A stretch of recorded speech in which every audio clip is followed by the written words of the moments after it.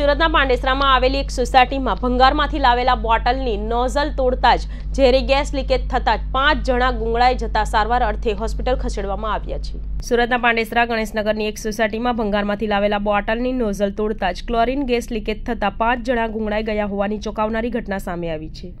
તમામ પાંચ અસરગ્રસ્ત શ્રમિકોની તાત્કાલિક સારવાર માટે એકસો આઠની મદદથી સિવિલ ખસેડાયા હતા. હાલ સ્થળ પર ફાયર વિભાગની ટીમ સર્ચ કામગીરી કરી રહી હોવાનું જાણવા મળ્યું છે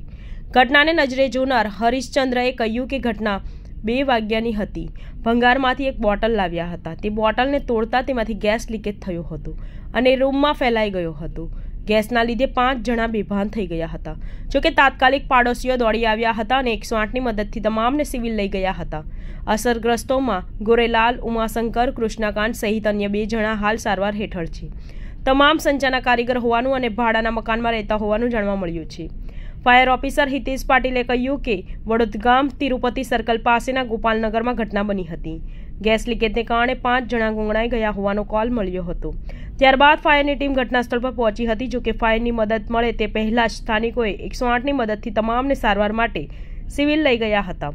ફાયરની એક ટીમ સિવિલ મોકલવામાં આવી હતી, જેમાં ભંગારમાંથી લવાયેલી બોટલ તોડતા નીકળેલા ગેસ લીકેજને કારણે શ્રમિકો ગુંગળાયા હોવાનું જાણવા મળ્યું છે.